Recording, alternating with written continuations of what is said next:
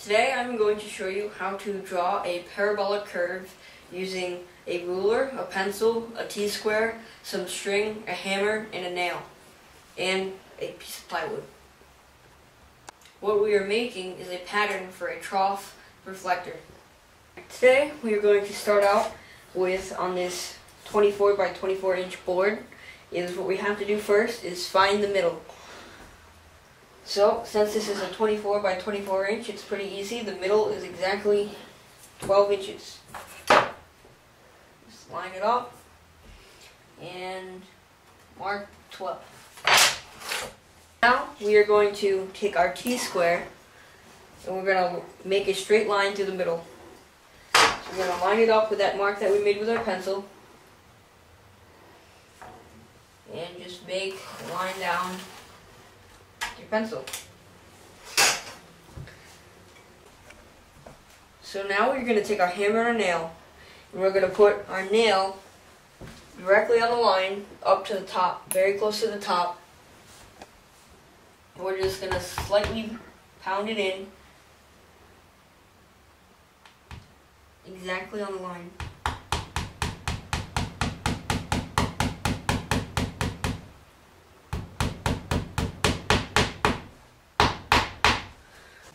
Alright, so now we're going to take a piece of string, any string, of any length, just not too long, just not ridiculously long. What we're going to do is we're going to tie it to the nail using a slip knot, and then just pull it like this, attach it to the nail, and then take this part of the string and pull it very tight, as tight as you can. No. So now, we are going to take our T-square and our pencil. We're going to take our T-square, line it up with a nail, and pull the string very tight. So what the nail acts for is, this is, the nail is the focal. And depending on where we put our pencil down our line, is how steep or how shallow our parabolic curve is going to be. So what we're going to do is we're going to put the pencil about right here. And we're going to take our string and wrap it around the pencil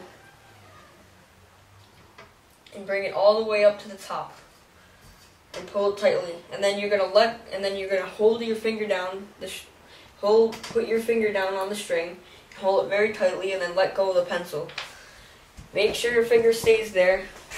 And then you're going to tie to the hole at the top of the T-square, you're going to tie any knot to make sure it ties. And then you're going to take the string and fit it through the hole again. And make that knot tight. And now, now we're going to get a piece of tape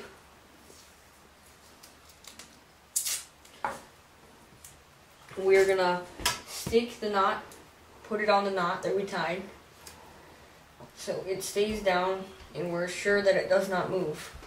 Make sure that it's tight and will not slip. So now, now we are to draw the parabolic curve. So what we're to do, we're to take the pencil, we're to pull it tight, make sure everything is off the board. And now, we're going to slowly move the pencil along with the T-square.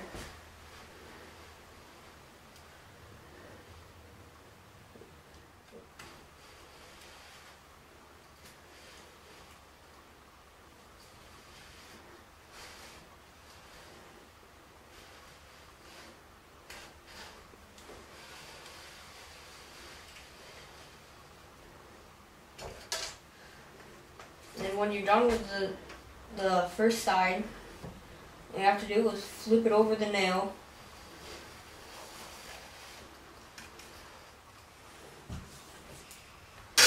Take your T-square over the nail, make sure everything is pulled over.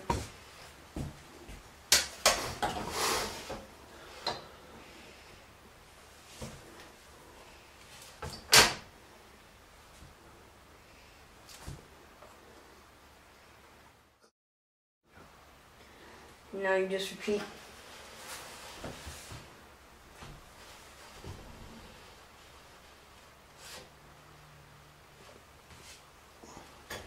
There you go, you've got your parabolic curve.